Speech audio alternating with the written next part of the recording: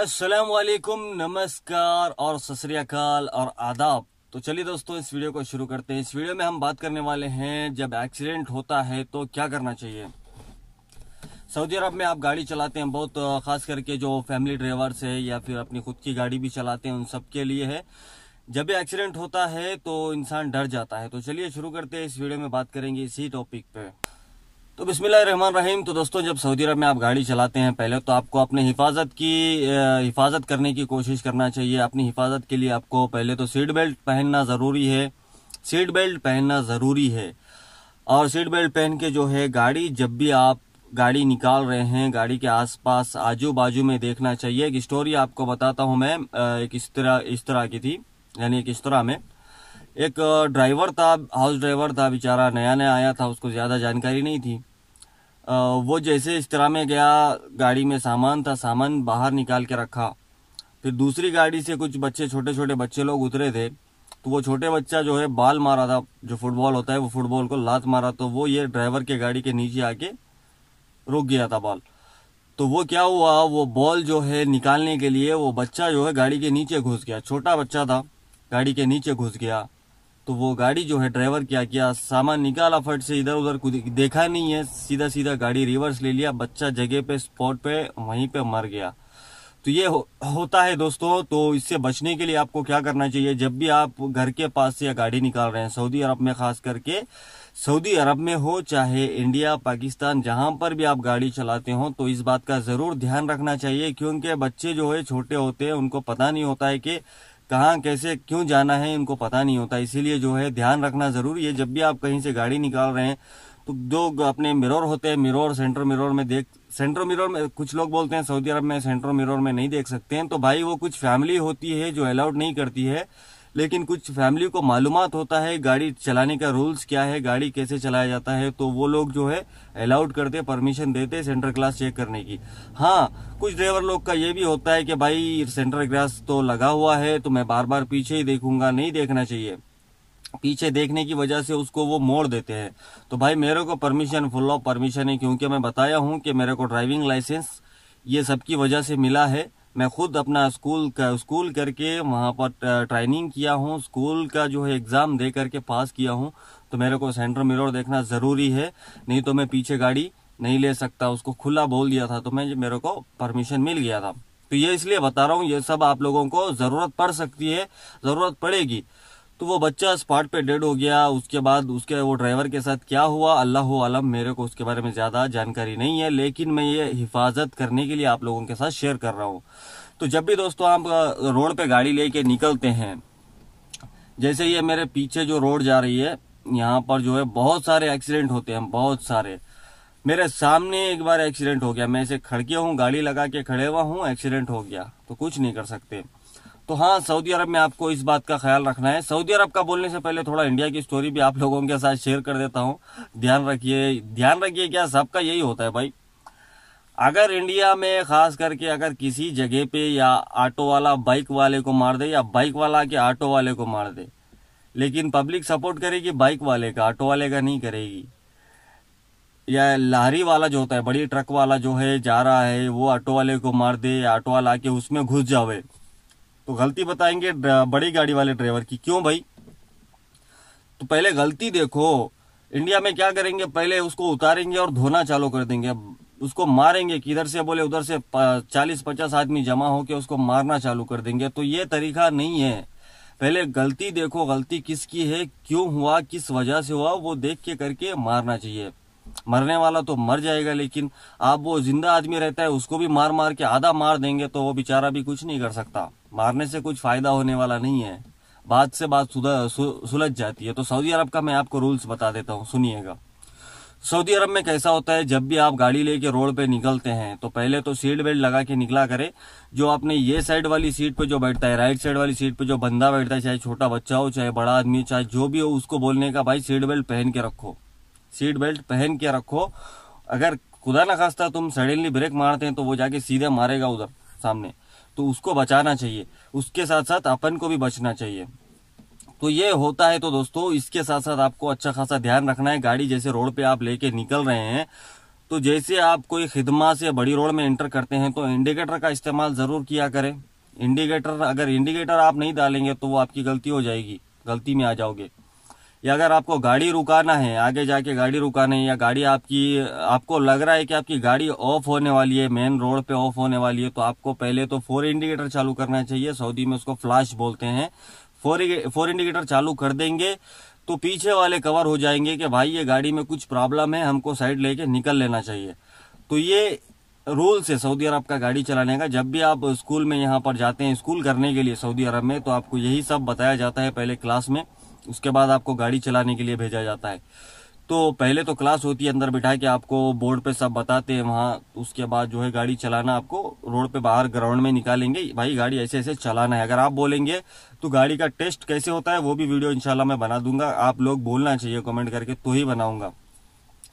तो दोस्तों, जैसे आप निकल गए, खुदा ना खास्ता, चलो सामने से एक्सीडेंट के एक रूल्स भी बता देता हूँ मैं, जैसे आपको ट्रैक होती है first track second track third track fourth track जैसे ट्रैक्स होते हैं तो ये ट्रैक्स में आप गाड़ी सही रखना चाहिए, आपकी गाड़ी सही होना है।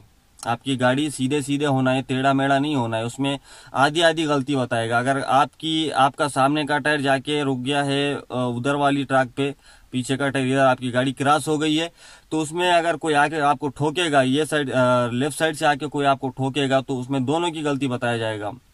ये बोलेगा, इसने इंडिकेटर नहीं डाल के घुसने की कोशिश किया, वो बोलेगा, मैं फिर बोलेगा, मैं आके ठोक दिया, मैं क्या करूँ? अना माफ़ी अना माफ़ी शूफ हुआ आलतुर खल अना इस दखल वो ऐसे बोलेगा। यानी कि इसका मतलब है, मैं मैं तो मेरा, में सीधा सीधा आ रहा था, वो ऑटोमेटिक सामने मेरे घुस गया, इसलिए गाड़ी लग गई। मैं क्या कर सकता हूँ?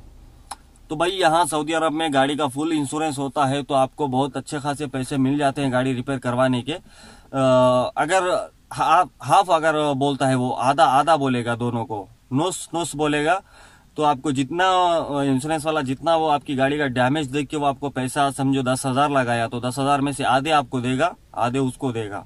तो ऐसे होता है। तो जब भी आपकी गाड़ी कहीं एक्सीडेंट हो जावे एक्सीडेंट हो जाने दो, मुश्किल नहीं, हो गया एक्सीडेंट हो गया, होने के बाद आपको क्या करना है? जैसे एक्सीडेंट होएगा, आदमी का जो है ना, ऐसे हो जाएगा। ये देख रहे हो? हुआ है, मेरे साथ खुद हुआ है, ऐसे कापेगा, हाथ कापेगा, पैर कापेगा, सब कुछ कापेगा। तो ऐसे टाइम पे आपको हिम्मत से काम लेना है और गाड़ी के नीचे उतर के पहले अपनी गाड़ी को देखना है कि गाड़ी को कहाँ, कैसे लगा, किसने मारा, क्या है, उसकी गाड़ी का नंबर नोट करना है पहले। गाड़ी का नंबर देखना है कि कौन सी गाड़ी है। अगर आप भी ठोकते हैं तो आगे वाली गाड़ी का नंबर आपको नोट करके रखना है कि भाई ये ये गाड़ी को मैं ठोका हूँ और कितना कितना डैमेज उसको आया है, वो आपको चेक करना है पहले। फिर आपके पास सऊदी अरब में हर एक इंसान के पास स्मार्टफ़ोन है, कैमरे वाला फ़ोन है, फटाफट अपने फ़ोन से फ़ोटो निकाल के कफील को सेंड करना है आपके। कफील को सेंड करना है, साथ का साथ अगर आपके गाड़ी में कोई भी नहीं है तो साथ का साथ कफील को फ़ोन करके बोलना है कि, मेरा गाड़ी यहाँ पर, ये जगह पे एक्सीडेंट हो गया है, मैं तेरे को फ़ोटो भेज रहा हूँ, देख ले। तो यहाँ पर होता है इंश्योरेंस का नजम बोलते हैं। इंश्योरेंस की गाड़ियाँ घूमती रहती है यहाँ पर इंश्योरेंस वाले की उसको नजम बोलते हैं। तो वो नजम वाले को फ़ोन करना होता है। वो अपन लोग बात नहीं कर सकते। भाई, ड्राइवर लोग ड्राइवर लोग की बात वो, उन लोग को समझ में नहीं आएगा। अगर कोई सऊदी अगर आगे वाली गाड़ी सऊदी की है, अगर वो ठोक दिया है, या आपने उसको ठोक दिया तो वो खुद फ़ोन करके बुलाएगा, या फिर आपको करना आता है तो आप कर सकते हैं। मेरे को तो उनसे, मैं ट्राई कर चुका हूँ, लेकिन वो लोग बात क्या करते हैं, मेरे को समझ में नहीं आता। इसीलिए जो है, मैं कफील को फ़ोन लगा के बोल देता हूँ कि मेरा गाड़ी को ये प्रॉब्लम हो गया है तो नजम वाले को फ़ोन लगा के बोल देना, ये ये जगह पे मैं मौजूद हूँ। तो आपको जगह का लोकेशन भेजना है तो वो उसको बात करेगा, वो लोकेशन पे भेजेगा तो वो नजम वाला आपके पास आ जाएगा, फिर आके वो जो है गाड़ी के फ़ोटो वगैरह लेगा। और एक बात भाई, आपको यहाँ जो दायरी होती है, दायरी में अगर आपकी गाड़ी मेन सेंटर रोड पे मेन सेंटर रोड पे अगर एक्सीडेंट हो जाती है सेंटर रोड पे आप गाड़ी चला रहे आपकी गाड़ी एक्सीडेंट हो गई या किसने ठोक दिया, गाड़ी आपको वहाँ से नहीं हटाना है जो जगह पे एक्सीडेंट हुई है। जहाँ एक्सीडेंट हुई है, गाड़ी को वहीं रोक के रखना है, जब तक मुरूर, यानी ट्रैफ़िक पुलिस या नजम आ नहीं जाता, आके फ़ोटो नहीं उतार लेता। क्योंकि सऊदी अरब में जब गाड़ी एक्सीडेंट होता है तो आपका जो कफील होता है, आपका जो कफील होता है, वो आपसे पैसा कट करने की मांग करेगा, आपकी सैलरी से काटने की मांग करेगा, पक्का करेगा। कुछ ना कुछ तो आपको भरना पड़ेगा ही पड़ेगा क्योंकि मैं खुद भर चुका हूँ। तकरीबन लोग को पता है। बहुत बार मैं ये बात बोल चुका हूँ फिर भी बोल रहा हूँ क्योंकि एक भाई ने कमेंट करके मेरे को पूछा है कि भाई सऊदी में एक्सीडेंट होता हो, होता है तो क्या करना चाहिए? पहले तो डरना नहीं चाहिए। डरना नहीं है। डरने से आपको बहुत बुरा हाल हो जाएगा। एक एक बार ऐसा भी हो जाता है गाड़ी आपने किसी को ठोक दिया अगर वो इंसान गुस्से वाला है तो हो सकता है उठा के बहरी भी मार दे। होता है, बहुत बार देखा हूँ मैं। अगर वो मारना भी, मारने की भी कोशिश करेगा तो आपको क्या करना है, उसको हाथ भी नहीं लगाना है आके सीधा अपनी गाड़ी में बैठ के कफिल को फ़ोन लगाना है, गाड़ी को लॉक कर देना है। क्योंकि भाई कभी कभी आपके गाड़ी में फैमिली होती है, जिसका, जो आपका कफिल है, उसकी फैमिली आपके गाड़ी में होती है तो कुछ यहाँ पे चिचोरे लोग भी है जो सताने की कोशिश करते हैं तो उससे बेहतर रहेगा, या तो आप गाड़ी के बाहर रह के गाड़ी लॉक करो, या गाड़ी के अंदर बैठ के गाड़ी लॉक कर दो। ठीक है? तो वो आके वो कुछ गड़बड़ करने की कोशिश करेगा। आपको बिल्कुल भी नहीं डरना है, वो कुछ नहीं कर सकता।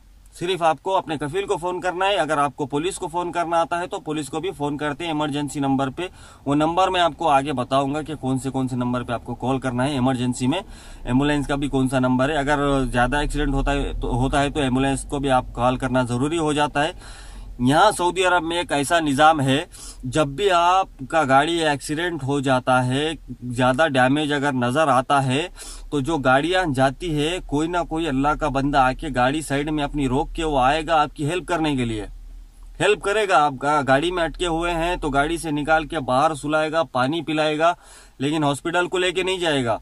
वो वहीं सुला के रखेगा आपको जब तक एंबुलेंस नहीं आ जाती। एंबुलेंस के लिए जितने वहाँ आसपास लोग हैं, सब लोग आपका एंबुलेंस को बुलाने की कोशिश करेंगे। और एक नहीं चार चार एंबुलेंस भाग के आती है। स्पॉट पे जब एक्सीडेंट हो जाता है तो इमरजेंसी में आपको फायर इंजन की भी गाड़ी आ जाती है, जो पानी मारते हैं ना, वो गाड़ी भी आ जाती है, एंबुलेंस भी आ जाती है, पुलिस, ट्रैफ़िक पुलिस भी पहुँच जाती है। तो ये सब इमरजेंसी में यहाँ होता है। इमरजेंसी में ही कॉल करना चाहिए लोग को। अगर ऐसे फालतू में कॉल करेंगे तो फिर मुसीबत में फंस सकते हैं। तो भाई यही है कि आपको जब भी आपका गाड़ी एक्सीडेंट होता है तो आपको डरना नहीं है, बिल्कुल भी नहीं डरना है। अगर चोट, आपको चोट लगी, आप गाड़ी में पड़े हुए हो तो कुछ नहीं कर सकते। अब दूसरे आके आपको बचाने की कोशिश करेंगे। अगर आप होशो हवाश में हैं, आप सही सलामत है, अल्लाह ना करे किसी के साथ ऐसा हो हो जाए तो आपको यही करना है गा, पहले गाड़ी से उतरना है गाड़ी को चेक करना है गाड़ी को कहाँ कहाँ डैमेज हुआ एक एक बार ऐसे हो जाता है जब मेन दायरी में रिंग रोड में तुम चलते हो 120 वाली स्पीड की रोड में तो एक गाड़ी सामने अगर एक्सीडेंट होती है तो पीछे वाला कंट्रोल नहीं कर पाता है लेक जाके घुसा देगा। एक एक दो नहीं दस दस गाड़ी को मैं देखा हूँ एक्सीडेंट होते हुए मेरे आंखियों के सामने। दस दस गाड़ी को। एक बार गाड़ी घूम घूम के मेरे सामने आई है लेकिन मैं उसको रोक लिया कवर कर लिया हूँ मैं ठोका नहीं जाके अल्हम्दुलिल्लाह। तो आप लोगों के भी साथ ये हो सकता है। तो भाई, गाड़ी ध्यान से चलाया करो। गाड़ी चलाने का जो है, अपना दिमाग को कंट्रोल में रखो। घर का टेंशन तो बहुत रहेगा, सबको रहेगा। जितना भी सऊदी में काम करने वाला इंसान है, सबको घर का टेंशन होता है। गाड़ी चलाते टाइम पे घर के टेंशन को माँ सलामा करो और अपनी गाड़ी चलाओ। रूम पे जैसे वापिस आओगे, फिर जो है अपने टेंशन को दिमाग में लाओ, उसको फिर रिपीट करते रहो रिपीट करते रहो रिपीट करते रहो। जो होगा, देखा जाएगा इनशाला तो भाई, यही होता है नजम वाला, आपको नजम वाले को फ़ोन करना होता है, उसका नंबर मैं बोल देता हूँ, यहाँ पर लिख के रखा हूँ पेपर पे। तो टोल फ्री कस्टमर नंबर है नजम का, जो इंश्योरेंस वाला होता है। तो नंबर नोट कर लेना भाई, नंबर मैं इधर बोल रहा हूँ, नजम वाले का इंश्योरेंस वाले का नंबर है nine two zero zero zero zero five six zero. ये नजम वाले का नंबर है। इसको बात नहीं कर पाएँगे। जो भी ड्राइवर हाउस ड्राइवर में होते हैं फैमिली ड्राइवर में होते हैं, तकरीबन अरबी साफ़ नहीं आती है तो ये लोग को बात करना मुश्किल है भाई। तो अपने कफील को फ़ोन लगा के, फ़ोन लगा के बोल देना चाहिए फ़ोटो वगैरह भेज देंगे तो वो सब कर लेगा, डरने की ज़रूरत नहीं है। इमरजेंसी में आप पुलिस को कॉल कर सकते हैं नाइन नाइन नाइन पे या नाइन वन वन पे। इमरजेंसी में ये पुलिस को कॉल कर सकते हैं, ट्रैफ़िक पुलिस वगैरह सब लोग इसमें बात करेंगे। फिर एंबुलेंस को अगर इमरजेंसी में कॉल करना होता है आपको तो नाइन नाइन सेवन पे कॉल करना है एंबुलेंस के लिए। वो जल्दी से जल्दी एक नहीं, चार चार एंबुलेंस भाग के आती है, जहाँ पर एक्सीडेंट होता है, वहाँ पर। क्योंकि मालूम नहीं कि कौन सी एंबुलेंस कितनी दूरी पे होती है वहाँ से, इसीलिए हर तरफ़ से एंबुलेंस आके वो बंदे को कैच करने की कोशिश करते हैं ताकि वो बंदे को बचाया जाए। तो इंडिया में भी भाई अगर किसी के हाथ से एक्सीडेंट हो जाता है तो बंदे को मारा ना करें। नहीं मारना चाहिए, मारने से कुछ होने वाला नहीं है। ये देखो ये देखो, पीछे देखो मेरे। ऐसे होता है। यहाँ जहाँ अब ये गाड़ी जो ड्रिफ्टिंग कर रहा है, यहाँ पर मेरे को एक बार ठोकता था एक बंदा। जस्ट इतना, इतने, इतनी दूरी पे बचा हूँ मैं, इतनी दूरी पे। गाड़ी मेरे ऐसे गई है, ऐसे सामने से गाड़ी गई है। तो भाई, संभल के रहो, ट्रैफ़िक, अगर आप गाड़ी चला रहे हैं, जहाँ पर भी चलाओ भाई, जहाँ पर भी चलाओ, आप जो भी हो, गाड़ी में बैठते समय अपने अल्लाह को, अपने भगवान को, अपने गुरु को, जिसको भी है, याद करके गाड़ी में बैठो। अगर किसी को भी याद नहीं करना है तो अपने अम्मा बाबा को, अपने बीवी बच्चों को, अपने परिवार को याद करके गाड़ी में बैठो।